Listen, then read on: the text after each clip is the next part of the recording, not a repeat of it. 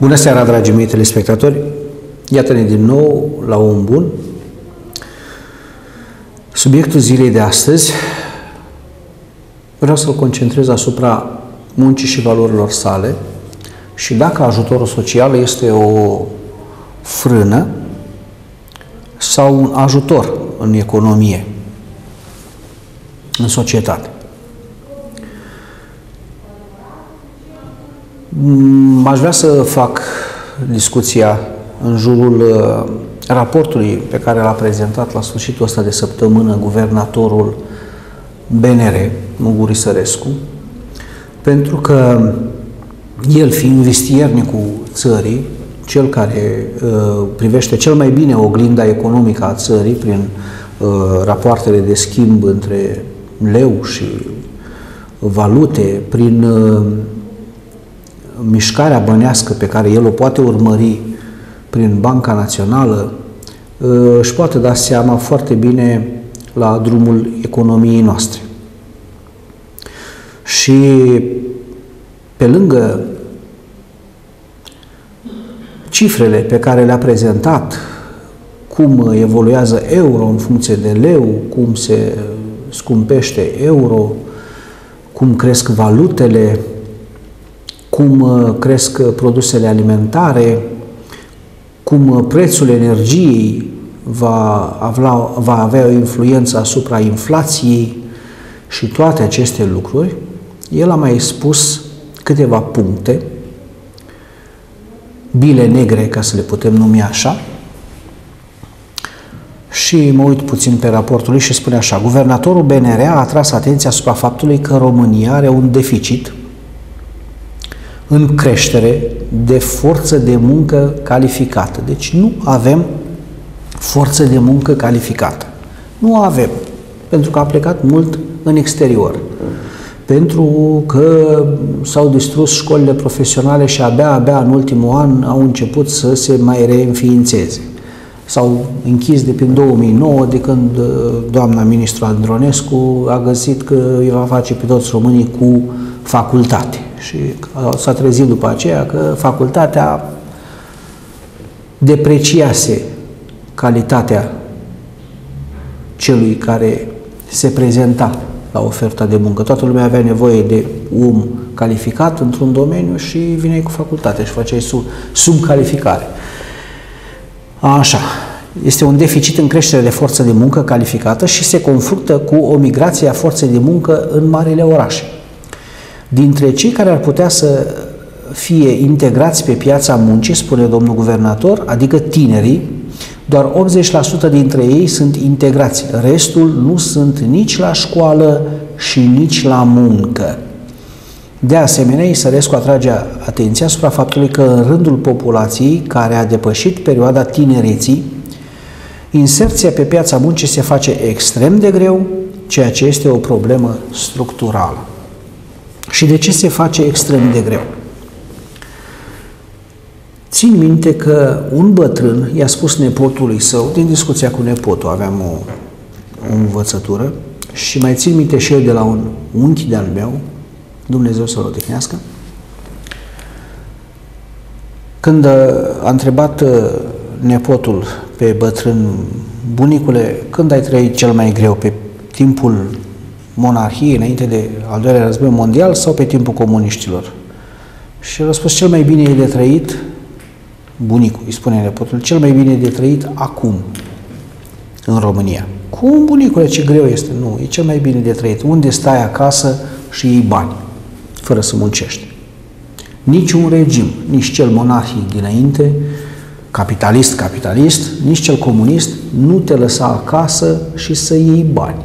Nu te plătea că stăteai acasă. Pe timpul capitalismului, dinaintea războiului, dinaintea celui de-al doilea război mondial, trebuia să muncești și munceai cei care aveau pământ, cei care uh, căutau să-și facă o meserie, toată școala pe care o făceai, indiferent de nivelul la care urcai, te învăța să muncești. Și rodul muncii se vedea după aceea în salariu sau în venituri. Dacă munceai pământul, obțineai resurse de pe el. Nici într-un caz nu te plătea statul că stai degeaba. Apoi au venit comuniști. Bineînțeles, munca era ridicată la nivel de virtute. Oameni ai muncii erau toți. Oameni ai muncii. Nu aveai cum să stai acasă. După ce terminai școală, după ce veneai din armată, după ce ieșeai din pușcărie, dacă era cazul, în două săptămâni trebuia să-ți găsești un loc de muncă. Dacă nu, îți găseau ei. Nu aveai cum să stai acasă. Munceai. Și erai plătit. Că munceai la mină, că munceai ca om de serviciu, că munceai în funcție de calificare, în funcție de școală, în funcție de aptitudini, erai integrat în piața muncii. Astăzi, nu prea. Și nu vreau să spun la cei care au plecat peste hotare. Cei care au plecat peste hotare sunt oameni care au știut ce vor de la viață și au plecat să-și ia soarta în mâini. Cei care au rămas în țară și lucrează și muncesc foarte bine și au luat soarta în mâini. Vreau să vorbesc nu de cei care chiar nu au cum să muncească. Cu toate că sunt foarte multe exemple de oameni cu handicap fizic, locomotor, care muncesc. Care muncesc. Sunt oameni în viața aceasta care nu văd bine, care nu au un membru și muncesc. Un membru al trupului, mă refer, nu un membru al familiei. Cu o mână, fără mâini, fără un picior, fără amândouă picioarele. Muncesc. Sunt fotografii puse pe internet cu oameni, este unul fără picioare, lucra la grădinărit, era altul fără picioare, dădea zăpada. Erau, ei erau cultivați pentru muncă. Și munceau. Sunt mulți la noi care nici nu muncesc și sunt plătiți din ajutoare. Chiar am urmărit uh, la sfârșitul ăsta de săptămână un articol mai vechi făcut de Carmen Avram, cu emisiunea ei. Și era vorba despre un primar dintr-un sat, dintr-o comună, care a adus un investitor și a făcut 300 de locuri de muncă.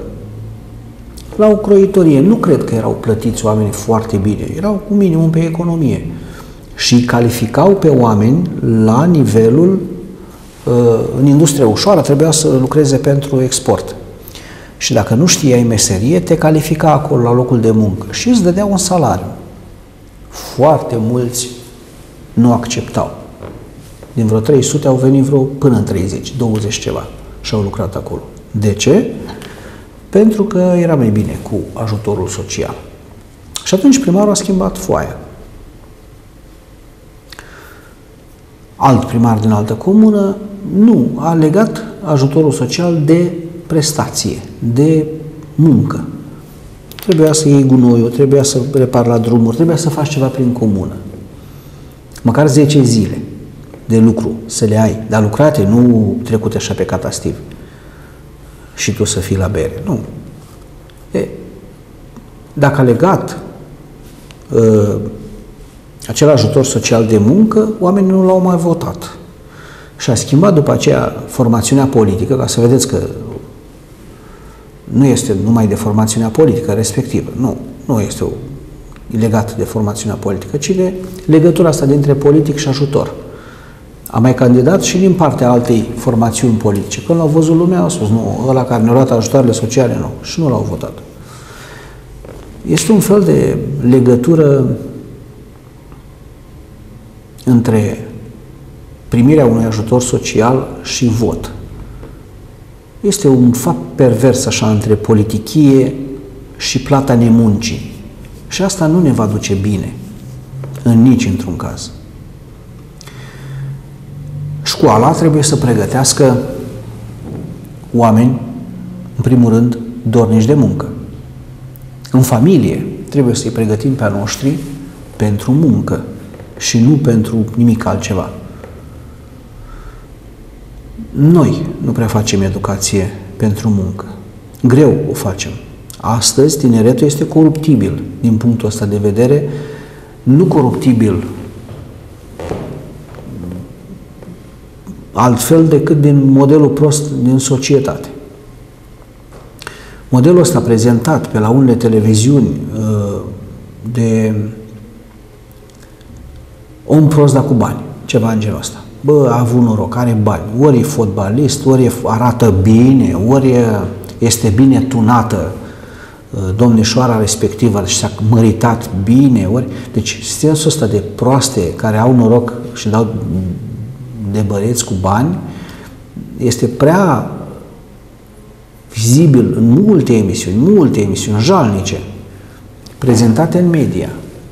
Nu se vede deloc în media promovarea și prezentarea unor succese datorită muncii. Nu am văzut olimpici prezentați în mod frecvent pe canalele de televiziune, indiferent care sunt acele canale de televiziune.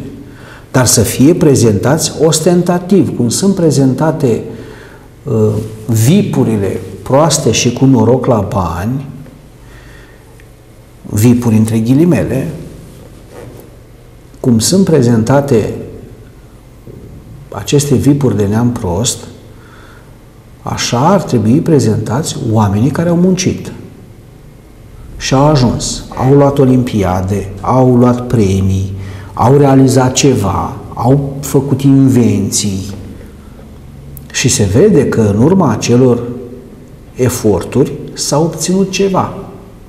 Brănișteanu, parcă era un băiat care a făcut o invenție, un, o mașinuță care se deplasa singură, ceva în genul ăsta, un fel de roboțel, autoturism care se deplasa singur, cu antene, nu dădea peste uh, oamenii care traversau strada, Uh, știa să se apropie de și să parcheze singură, mergea singură fără să fie dirijată de la distanță.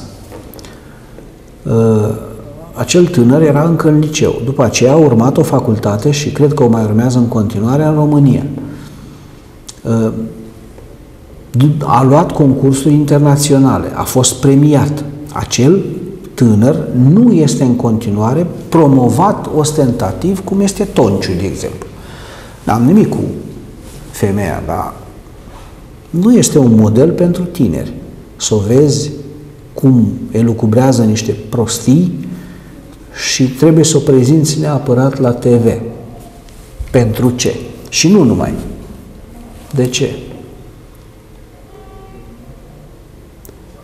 Asta spun că este greșeala media. Ori greșeală, ori o greșeală intenționată, adică la un moment dat când văd că prezinți prea mult așa, înseamnă că asta este modelul pe care vrei să-l inspiri în societate.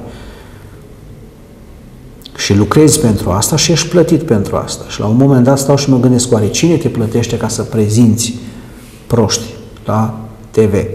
Cine? Nu știu. Nu sunt prezentate cazuri de oameni care au reușit în viață nu sunt prezentate. Oameni care au ridicat o firmă de jos, cu muncă, sau au plecat peste hotare, au făcut un capital și au venit încoace, cu toate hățișurile pe care le știm cu toții de la statul român. Hățișuri fiscale, hățișuri legislative, hățișuri de toate tipurile de hățișuri și toate piedicile care sunt puse în față și pe care trebuie să le treacă fiecare uh, om care își deschide o afacere în România. Și sunt oameni care au reușit. Avem model și în Pașcal la noi, oameni care au reușit. Nu sunt prezentați destul de mult. De ce?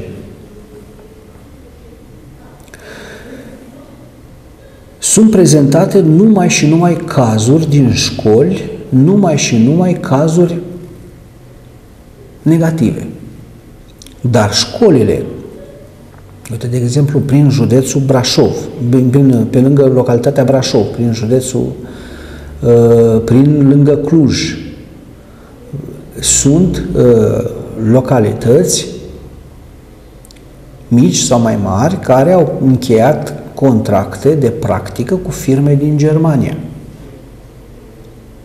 Nu este prezentat modelul acela mai des decât la o emisiune odată pe la jumate de an de investigație, cumva așa să se arate. Nu sunt prezentați oameni de succes, nu sunt prezentate modele de școli, nu sunt prezentate modele educative care ar putea să ridice nivelul de educație al poporului, al tinerilor.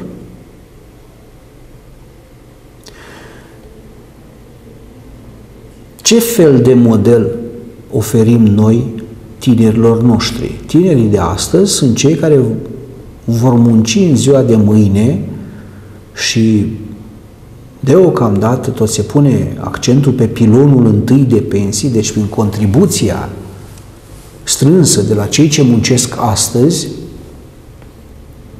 pentru a oferi pensia celor care sunt astăzi la pensie.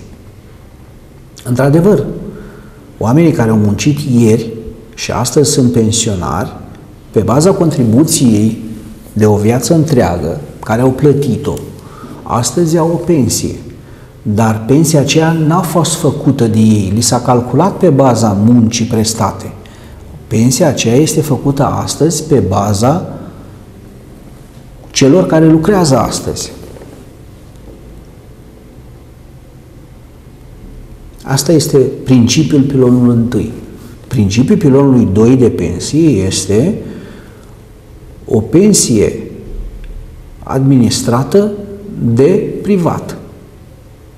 Iar principiul pilonului 3 de pensie este o pensie facultativă, nu obligatoriu, ci facultativ, dacă vreau, îmi deschid eu un cont la un administrator privat de pensii pe care îl aleg, care să fie legal, constituit și în funcție de cât depun acolo, cel puțin 90 de luni, așa spune legislația, nu trebuie să fie consecutive cele 90 de luni, pot contribui eu pentru pensia mea. Pilonul 2 și pilonul 3 de pensii sunt ale mele din contribuția mea, iar pilonul 1 de pensie este calculat conform contribuției mele actuale, dar va fi luat din ceea ce vor munci generațiile viitoare când voi ieși eu la pensie. Ori dacă noi nu ne creștem generația actuală de elevi sau generația actuală de tineri pentru a fi oameni care vor munci pe niveluri salariale bune, care vor face afaceri bune, care vor avea un rod al muncii lor cu un randament ridicat, nici noi nu vom avea la nivelul pensia la nivelul respectiv. Nu va avea de unde să fie. Noi trebuie să fim direct responsabili, responsabili și răspunzători asupra modului cum ne educăm tineretul. Noi, ca părinți, în primul rând, pentru că educația începe acasă, să nu te întrebi ce educă școala dacă tu nu ai făcut educația pe care trebuia să faci acasă cu copilul tău. Adică să nu-i spui că n-a învățat la școală să spună să rămână la bunică dacă tu nu l-ai învățat să spună să rămână la bunică pe copil. Să nu spui că te-a învățat la școală să arunci pe jos, dacă tu nu l-ai învățat să strângă de pe jos să-și facă curățenie în locul lui, în locul unde abitează el, unde locuiește, unde circulă. Să nu-l înveți să-i ceri de la școală să nu se bată sau să nu fie violent, dacă tu de acasă nu-l înveți să nu fie violent. Deci ceea ce cei șapte ani de acasă, cum se spune, este obligatoriu pentru educația tânărului.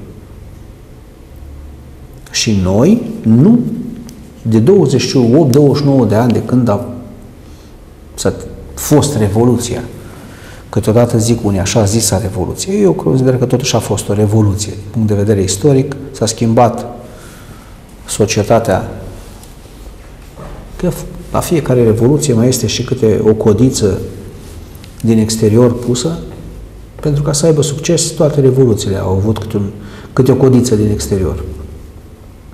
Și Revoluția Americană a avut ajutor francez. Deci, ce putem spune mai mult? Revoluția rusă, comunistă rusă, de pe timpul lui Lenin, a avut ajutor din partea Kaiserului. Vagoane de aur s-au dus acolo. Mărci germane. Pentru ca Revoluția să aibă succes. Decapitarea politică a Rusiei țariste. Și s-a și făcut. Adică familia țarului a fost omorâtă. S-a extirpat din societatea rusă țarismul. Ca familie, ca mentalitate a rămas. Putin de astăzi este tot un țar. Tot metodă imperialistă de conducere are. Dar nu vorbim de Rusia. Vorbim de noi. Ce căutăm noi să facem? Noi plătim nemunca. Am luat modelul statului francez cu ajutoare sociale, cu... și nu ne e propriu nouă, nu ne e caracteristic nouă. Noi avem țăranul nostru gospodar, avem meseriașul nostru om harnic, cultivat, meseriașul de la oraș, cultivat nu de modelul francez, cultivat de modelul german. Uitați-vă în orașele construite pe vremea Imperiului Habsburgic, de exemplu, în Bucovina, în uh, Transilvania, în uh, Banat, acelea sunt modelele de orașe construite pe specific austriac, german. După modelul de clădiri, după modelul de, de uh, funcționar, după modelul de uh, meseriaș într-o breaslă, acele modele le-am adoptat și noi în, în România modernă. Pe timpul monarhiei lui Carol, lui uh, Ferdinand, în partea regățeană a uh, României, tot așa s-a construit modelul de oraș. Cu Bresle, cu modelul german, nu model francez. De ce am luat noi modelul societății franceze cu prea multe ajutoare, cu... nu știm. Modelul german e model de muncă. Școala germană este foarte aplicată și practică. 20% din elevi ar trebui să urmeze studii superioare. Pentru că nu toți sunt pentru facultăți, nu toți au aptitudini de facultăți. Eu nu spun să nu se facă facultăți. Pentru mine, orice copil ar trebui să facă facultatea pe care vrea să o urmeze. Dar la un moment dat, dacă deschizi așa, dai drumul la o barieră, uh, bacalaureatul să se ia indiferent cum, la liceu să se ia și cu 2 cu 3, nu contează asta, intră la liceu și nu pui niște baremuri foarte uh, stabile, să aibă un minimum de cunoștințe când intră într-un într ciclu de învățământ, așa cum a fost construită școala de uh, Maiorescu și de uh, Spiru Haret, după model, vă spun, după model german, nu după model francez, după un model de educație foarte practic. Păi, până în război, până la al doilea război mondial, modelul de învățământ era cu celor cu liceu, cu bacalaureatul, era de formarea unui om rotund. Se dădea bacalaureatul la șapte obiecte, printre care era româna, normal, erai funcționar român, erai uh, muncitor român, trebuia să cunoști foarte bine limba română. Era matematica, pentru că îți dezvolta o gândire logică, era o limbă străină pe care trebuia să o cunoști. Franceza, în general, era atunci. Acum ar merge foarte bine engleza. Era franceza, germana, depinde de localitatea unde și de regiunea țării unde se uh, făcea, se dădea examenul de bacalaureat.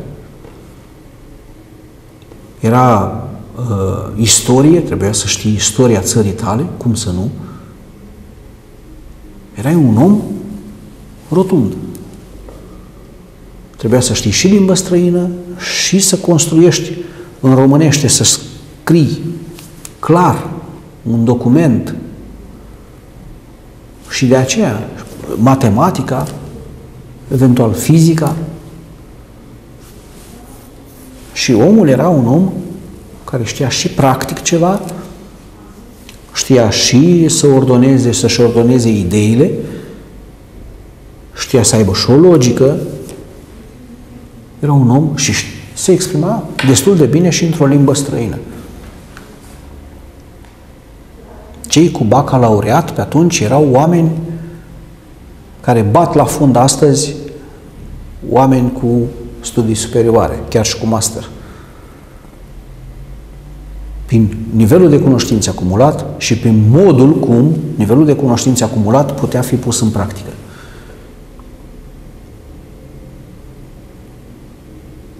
Și noi astăzi construim un stat de pe model socialist francez cu ajutoare sociale date pe ce? Pe nemuncă. Că nu am nimic împotrivă să nu se dea ajutor social celor care cu adevărat au nevoie de ajutorul social. Sunt la pat, sunt într-o imposibilitate de a munci. Și normal, societatea trebuie să aibă grijă de fiecare membru a ei. Dar când îl vezi pe om în 30-40 de ani, apt de muncă, și nu este atras de piața muncii pentru că el mai degrabă stă și ia același ban gratis, e normal. El merge pe efortul minim. De ce să vină la serviciu pentru un 14-15 milioane de lei vechi și să muncească de dimineață până seara de multe ori, când aceiași bani, poate mai puțin, poate numai un 10 milioane, 1000 de lei, îi ia dacă stă acasă, cu fundul pe pat și se uită la televizor. De ce? De ce să muncească pentru ce? De ce să se spetească? Când societatea îi dă. Dar societatea de unde îi dă? De la cei ce muncesc, nu? Și cu ce preț îi dă? Cu prețul ca din 4 în 4 ani să pună un vot. De ce? Ca să stea sus, cei care trebuie să stea sus. Și atunci nu mai construim nimic. Eu, ca politician, sunt sprijinătorul asistenței sociale, așa și la cei care nu merită, iar ei din 4 în 4 ani, normal că mă plătesc ca să aibă și în continuare ceilalți 4 ani acolo. Și au. Și sunt destui. De ce să plătim nemunca? De ce să nu cultivăm munca și nu nemunca? Pentru că ne ducem la vale, oameni buni. Ne ducem în râpă. Cu stilul ăsta ne ducem în râpă. Tot tineretul activ este plecat dincolo de granițe, indiferent de nivelul de studii. Care 8 clase, care 10 clase, care 12 clase, care facultate, el pleacă. Cel care este integrat aici în piața muncii, tot gânduri de plecat are, este plătit prost, pentru că diferența între ajutorul social și salariul minim pe economie nu este mare, deci nu este sprijinită munca, ci este sprijinită nemunca. Mai degrabă l-aș sprijini pe un tânăr care și-a găsit un loc de muncă cu un salariu minim pe economie mai mare, dar aș trage de la ajutoarele sociale, aș lăsa doar punctual celor pe, pentru care este neapărat necesar. Și să vedeți că s-ar găsi bani și pentru spitale, și pentru învățământ, și pentru locuințe, pentru tineri și nu numai, și pentru străzi, și pentru de toate. Pentru că atunci când cultivi munca, poți. Dragii mei, este o, dacă o luăm și ca religios, și ca fenomen religios, este păcat de Dumnezeu. Am înțeles, n-am fost niciodată în Israel, dar am înțeles că acolo pământul este arid. pământul acela oferă smochine, oferă mun, oferă ceva. Foarte. Dar pământul acesta, acela este iubit de evrei. Nu numai că se luptă cu palestinieni și cu celelalte nații din jur pentru pământul ăla moștenit de la Dumnezeu dat lui Moise și lor, dar este iubit pentru că lucrează acel pământ.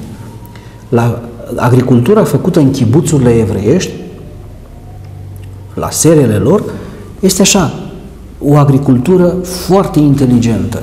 Fiecare plantă are picătura ei de apă. Apă nu există. Israelul importă apă și din Turcia și de peste tot. El nu are apă. Iordan, atât ce trece pe acolo, de unde pot să ia apă. Dar în rest, Israelul nu are apă. Acest stat importă apă. La noi avem un pământ gras, bun de agricultură, bine, pe care l-am vândut deja o treime la străini, asta e altă treabă. Dar bine că străinii muncesc pe el și ne pun pe noi la muncă pe acest pământ. Dacă suntem fraieri și nu știm să lucrăm noi, lasă că ne pune străinul la muncă pe terenul nostru. Avem atâta teren bun, apele. Ne-a, ne dat Dumnezeu un, un, o climă bună, un relief bun cu munte, cu uh, câmpii, cu dealuri, cu podișuri și atâtea râuri care, poftim, avem posibilitatea să irigăm acest teren foarte bine și să scoatem producție agricolă din el și să creștem și animale. Nivelul 2 de producție agricolă. Pentru că e net superior dacă exportăm carnea decât dacă exportăm deja furajul. Exportăm grânele, ei ne cumpără grânele pentru furaje și ne vând încoace carnea pe care au produs-o ei. Mă refer la străini. Nu. Producem noi totul, de jos până sus, din agricultură. De la cereale și de la tot ce scoate pământul, și mă refer aici nu numai cereale, ci și posibilități de bulgării și de sere și pomicole și viticole și tot ceea ce avem nevoie noi și putem produce, pământul ăsta ne dă absolut tot. Fructe, noi cumpărăm mere din Polonia, dar Polonia e mai la nord de noi. Și noi avem un teren pentru fructe impresionant de bun. Când eram în armată, în 88, 89, am mers la Bogdănești. Erau livezi, kilometri întregi, mergeam cu mașina și erau livezi. Acum nu, că nu mai este nimic. Toate s-au tăiat. Mere, piersici, caiși, pere, pruni. Pe noi ne-a dus la munci, că așa făceai atunci cum începe școala sau cum începe armata, prima lună era pentru agricultură. Și eram învățați bine că trebuia să mai, mai lucrăm și noi pentru acasă. Să știm, să recoltăm măcar producția. Tineretul era învățat cu, cât de cât cu munca. Și am cules mere la Bogdănești, o lună de zile. tone, zeci de mii de tone de mere, n-am văzut. Și acum să nu mai fie nimic. Vorbeam cu foști colegi. Mai sunt serele de la Bogdanești, mai sunt uh, livezele de la Bogdanești. Foarte puțin. Le-au tăiat. De ce să tai? Noi avem un pământ bun, Dumnezeu ne-a dat un pământ bun și nu-l muncim. De ce? Pentru că e ușor să stai, să aștepți de la primărie niște ajutoare. De ce să muncești? Și plecasem în discuție de la raportul guvernatorului BNR. Mai avea un punct guvernatorul BNR acolo despre investițiile structurale care lipsesc cu desăvârșire. Dar despre astea vom discuta imediat după pauza de publicitate. Pauză, te rog.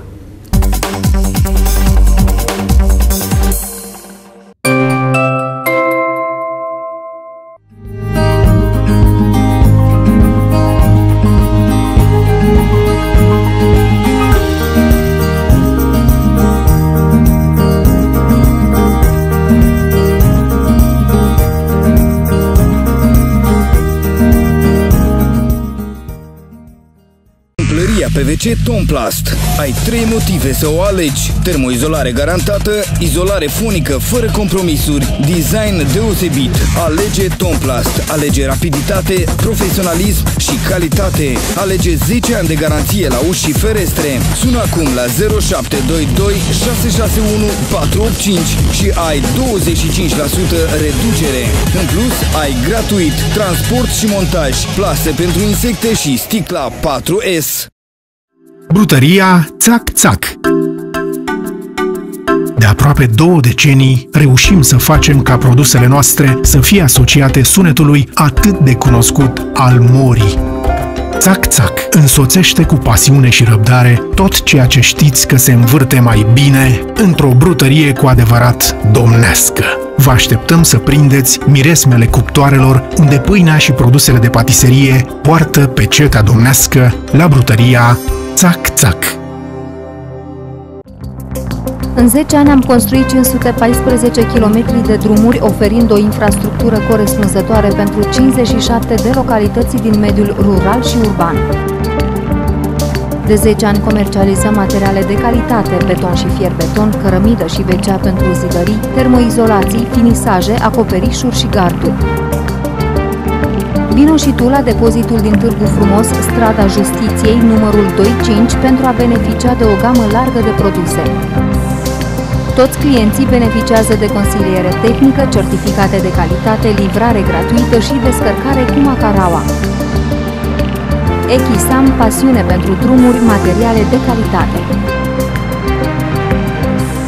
Apa Vital are grijă de apa din municipiul Pașcani. De acum și orașul Pașcani va avea servicii de furnizare a apei la nivel european. Pentru a beneficia de serviciile Apa Vital, formați asociații de locatari în blocuri și încheiați noile contracte prin asociațiile de locatari sau individual dacă nu locuiți la bloc. Informații la telefon 0232 969 sau pe site-ul Apa Vital. Apa Vital este parte din viața orașului Pașcani.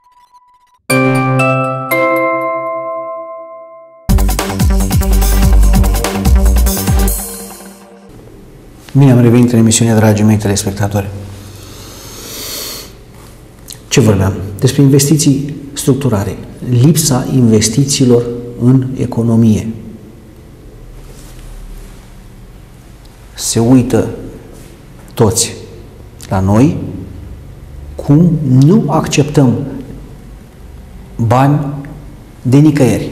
Din Uniunea Europeană banii nu se pot fura, nu se accesează. V-am povestit, poate în emisiunile trecute, cum Polonia și-a, accept, și-a accesat fonduri europene pentru economia proprie și a trecut peste criza din 2009, 2012, 2013, așa, fluierând. Ea a crescut salariile în perioada aia. Polonia a crescut salariile în perioada de criză. La noi s-au tăiat salariile în perioada de criză. Bașca, acum ne-am împrumutat, deci după ce s-a împrumutat Băsescu atunci, în perioada aia, și acum avem cele mai mari rate ale băncilor în perioada asta, pe împrumuturile făcute atunci, guvernul de astăzi și guvernele, guvernele, că tot aceeași, s-au mai împrumutat iarăși. În loc să facă investiții în economie și nu numai autostrăzi, au zis acolo în programul de guvernare, nu știu câte spitale regionale și nu știu mai ce. Dar autostrăzile sunt absolut necesare pentru a lega regiunile țării. Avem, uite, 100 de ani de Românie mare, de la 1918. 100 de ani de Românie. Bine, Basarabia și nordul Bucovinei nu mai sunt și cadrilaterul. Nu mai sunt la țara noastră. Sudul Basarabiei este la Ucraina. Dar am putea lega prin autostrăzi și prin poduri și regiunile care vremelnic nu mai sunt la România. Asta ar aduce locuri de muncă. Și după aceea, când economia duduie, ce mai vrei? Vei fi votat permanent. Investiții structurale, iarăși. Despre ce e vorba? Despre uh, prețul energiei. Spunea că la un moment dat se va urca prețul energiei. Păi da, avem atâtea baraje de refăcut. Dar avem posibilitatea să construim baraje. De ce? Dacă avem râuri, de ce să nu folosim energia acestor râuri pentru producerea energiei electrice? De ce să nu folosim energia solară sau în, în zonele unde bate soarele mai mult? De ce să nu folosim energia eoliană? Pentru că sunt măsurători făcute uh, pe teritoriul țării noastre unde bate vântul permanent. Și putem să avem o energie eoliană de producere a energiei electrice. De ce să nu avem? Acestea înseamnă investiții structurale. Și bineînțeles, în momentul în care de la nivel guvernamental până jos și la nivel de primărie până jos sunt făcute aceste investiții, are, de, are loc de muncă și omul, și românașul. Nu trebuie neapărat să se ducă până în Franța sau până în Anglia să lucreze. Are aici aproape. De ce să nu-i cultivăm pentru muncă? De ce să fim cultivați pentru sclavie? De ce să fim vânduți noi? De ce? De 30 de ani se face acest lucru. Suntem vânduți la mezat. De ce? Și noi ne complacem în această dăm vina pe, pe politicieni. Dar noi ne complacem, îi votăm pentru ajutoarele sociale, îi votăm pe ceiași politicieni. Ca să obținem plata nemuncii noastre, lenea asta, și să luăm bani pentru ea, îi votăm pe aceiași. Suntem împreună. Spunea, nu mai știu ce învățat, dar era o vorbă foarte clară.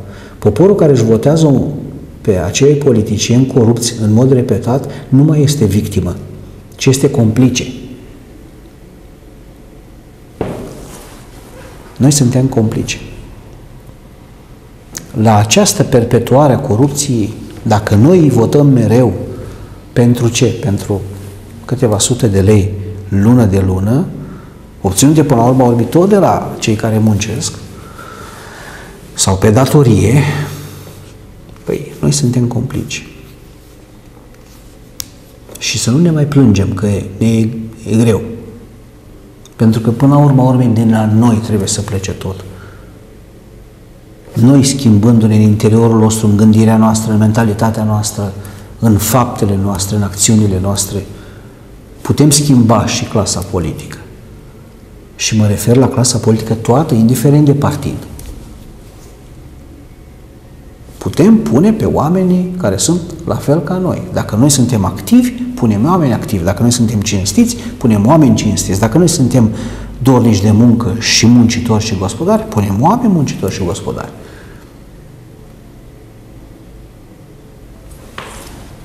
De asta stau și mă întreb. Ajutorul social este o frână? Da. Privit așa, este o frână. Ajutorul social, în esență, nu este ceva rău. Să dai posibilitatea de a trăi și celui care nu este capabil să muncească rentabil cum muncești tu, care ți-a dat Dumnezeu de toate. Cap, mâini, minte, ochi, de toate. Este un lucru firesc să-l ajuți și pe cel care este lipsit de unul din simțuri. Nu bunul simț, de unul din simțurile cele cinci. Și Dumnezeu, Hristos, a, a venit și a făcut minuni și le-a dat orbilor vederea, le-a dat celor muți au putut să vorbească, cei șchiopi au putut să umble. Nu este ceva rău, dar Sfântul Apostol Pavel spune așa, celor ce nu muncesc să nu mănânce. Deci nu am văzut pe Hristos să dea celui care e leneș să-i dea în continuare ce?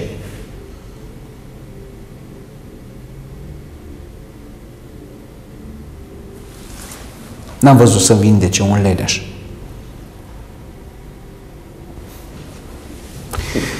Dragii mei, acestea fiind spuse, să ne tragem fiecare concluziile care le avem de tras și să ne schimbăm în interior, în interiorul nostru și în acțiunile noastre. Să nu mai acceptăm nemunca și plata nemuncii, pentru că plata nemuncii va veni mai târziu foarte greu de suportat. Plata nemuncii e sclavia. Să nu ne adormim simțurile, să fim vigilenți. O seară frumoasă vă doresc. La revedere! Thank you.